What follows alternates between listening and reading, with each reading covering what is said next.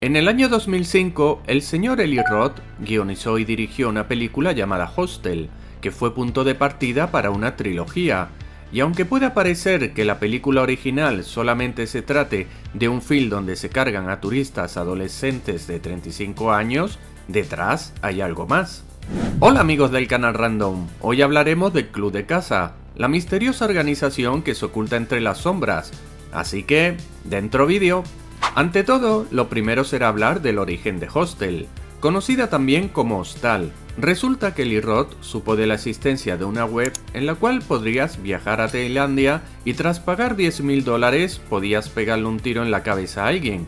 Y ojo, que no era una persona la que hubieran secuestrado y obligado a dejarse disparar, sino que lo hacía para que parte de ese dinero se lo dieran a su familia para ayudarles a sobrevivir, ya que estaban arruinados. Eli Roth no llegó a saber si esto era real o simplemente algún tipo de engaño. Al poco tiempo habló con Tarantino, al que le contó que tenía una idea para una película, basada en ese concepto de que alguien fuera capaz de pagar dinero para poder matar a placer a otra persona. Con lo que Tarantino le dijo que esa era la idea más enferma y más horrible que había oído nunca y animó a Eli Roth a plasmarla en un guion, con lo que a partir de ese momento nació Hostel.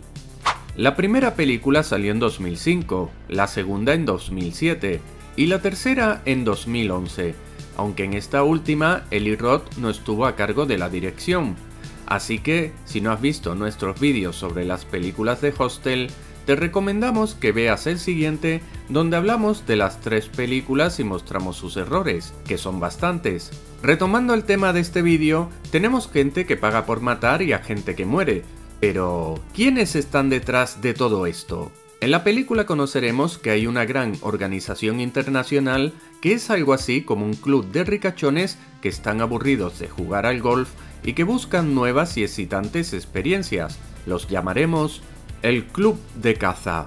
Su sede principal reside en Europa del Este, donde tendremos un jefe o patriarca que es el director de orquesta de semejante barbarie, conocido por el nombre de Sasha Rasimov, de origen ruso y del que se dice llegó al poder gracias a su gran fortuna, obtenida a través de la herencia familiar y de la que gran parte fue invertida en este selecto club, Además, tiene debilidad por los perros de caza, en concreto los sabuesos, Bloodhound, llamados también perros de San Huberto y que son el emblema de la corporación. Como toda gran organización, tiene también una determinada jerarquía, en el que, al ser secreta, se guarda el anonimato de las personas que pertenecen a ella, o mejor dicho, llamémoslos socios aunque en realidad se puede identificar fácilmente quién pertenece a esta sociedad, ya que tendrán tatuado en su cuerpo un tatuaje de un sabueso.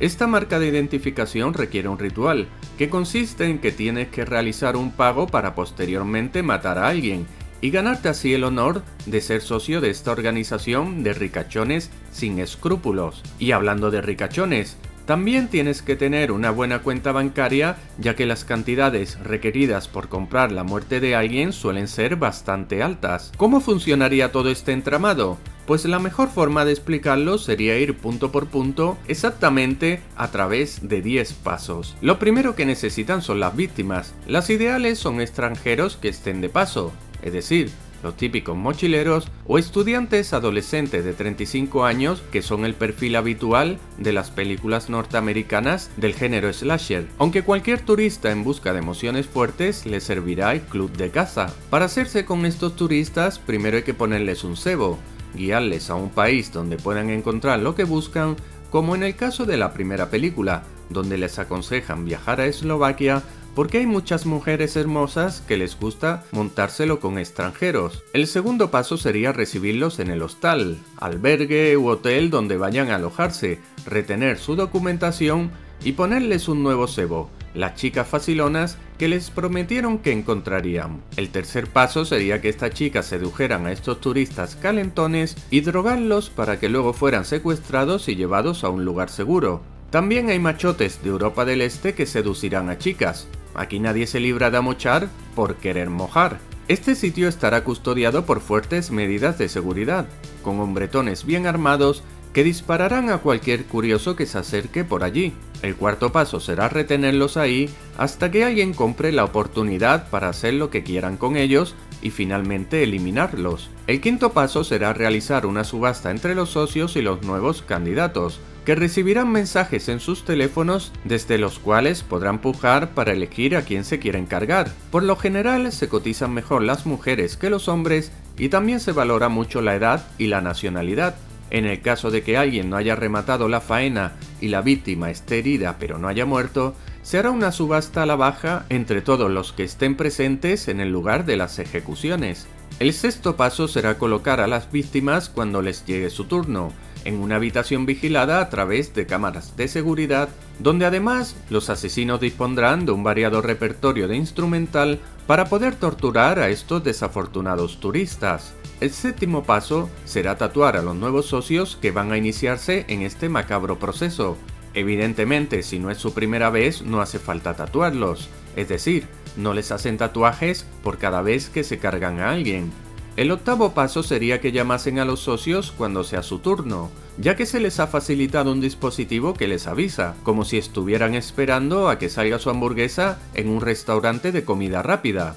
El noveno paso sería que el socio entre a la sala de tortura y hacer lo que le venga en gana con la víctima que compró en la subasta.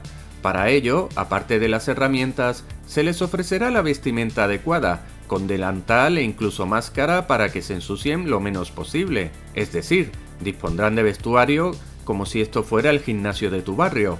En el décimo y último paso, tocará deshacerse de los cuerpos que en la mayoría de los casos serán incinerados para evitar dejar rastro o comida para los sabuesos, quién sabe. Quizás todo este proceso de seducir a los turistas sea innecesario, ya que sería más práctico secuestrarlos cuando duermen y llevárselos por la noche sin que nadie se entere. O quizás podríamos verlo como darles una última oportunidad para disfrutar de la vida, es decir, dejar que se desmadren durante la última noche de fiesta que tendrán. Además, en esa localidad mucha gente sabe lo que ocurre y algunos de ellos pueden considerarse cómplices, pero si intentas ayudar a las víctimas, lo más probable es que te den una paliza y te obliguen a largarte del pueblo. Los socios están vinculados a un contrato por el cual tienen que eliminar a las víctimas. Si no lo hacen, estarán incumpliendo el acuerdo y la organización acabará con ellos.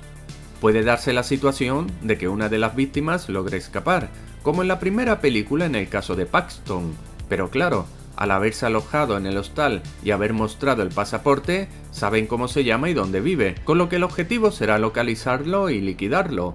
Y como premio, su cabeza será un trofeo más en el Salón de la Fama del Patriarca. Hay casos excepcionales donde una víctima puede comprar su libertad, aunque previamente tiene que acabar con la vida de su ejecutor, como ocurre en la segunda película, y tras dicha proeza formará parte del club de caza. En la tercera película de la saga, en la que Eli Roth deja de ser el director y solo participa en el guion, descubrimos que la organización también tiene una sede en los Estados Unidos, en este caso en Las Vegas. Se rumorea que este cambio de lugar se debió a las críticas vertidas desde Eslovaquia, donde se dijo que estas películas daban mala imagen al país y que afectarían al turismo, sobre todo en Bratislava, ya que es cerca de allí donde se cometen las atrocidades descritas, aunque como defensa se insistió en que las películas se habían rodado en la República Checa y que ninguno de los asesinos eran eslovacos. Además, Eli Roth puso como ejemplo a las películas de la matanza de Texas y que a pesar de las muertes que se muestran en esta saga,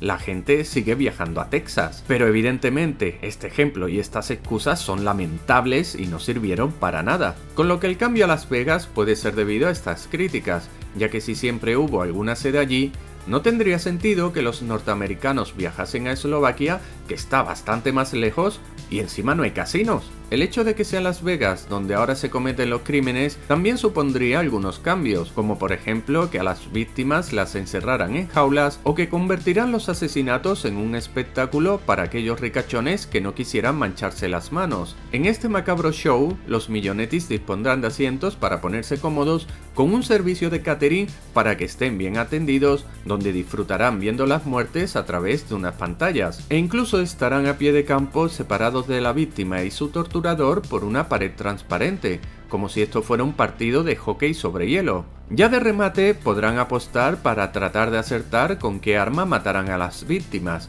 porque claro, estamos en Las Vegas y hay que apostar. Además, lo que pasa en Las Vegas se queda en Las Vegas. La forma de capturar a las víctimas es similar. Estas se alojan en un hostal, se las llevan de fiesta y secuestran a alguno de ellos.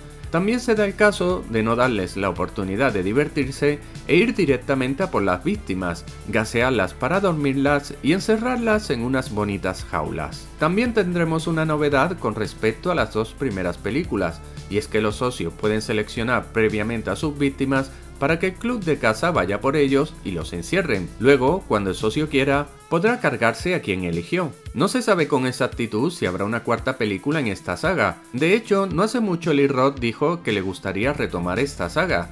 Quizás en futuras secuelas podamos saber más sobre este club de casa, ya que tras estas tres películas la organización no resultó afectada y entendemos que seguirá ofreciendo sus servicios a los ricachones, con lo que, si vemos en las noticias que siguen desapareciendo adolescentes de 35 años en Eslovaquia, tendremos claro que aún continúan con su negocio particular. ¿Creéis que es posible la existencia de algún tipo de club de millonarios que se divierta torturando a los pobres mochileros? Dejad lo que pensáis en los comentarios y suscribíos, que es gratis.